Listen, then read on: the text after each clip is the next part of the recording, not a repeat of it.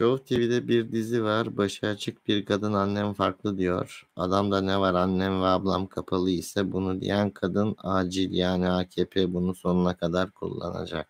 Oğlum orada onları kötü karakter olarak resmetmişlerdir. Hani öyle bir iş yapamazlar Show TV'de yoksa. Hani şey başörtülü kadına zulüm şeklinde anladın mı? STV tadında yapmışlardır onu. STV'nin öyle dizileri vardı ya amına koyayım. Adam annesini dövüyor. Yine namaz mı kılıyorsun pis kadın? Ha ha ha ha ha. Tekme atıyor annesine falan.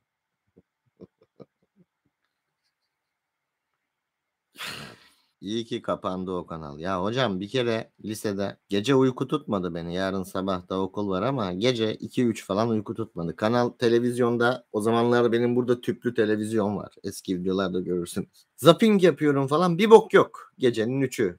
Bir baktım STV'de belgesel var. Yılan belgeseli. Aa iyi dedim seyredeyim. Ben hayvan belgeselini de çok severim.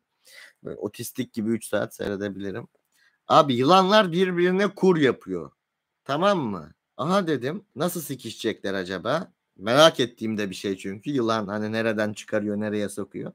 Yılanlar tam yakınlaştı ekran karardı. Ertesi sahne yılanın üstünde şey var çarşaf var falan.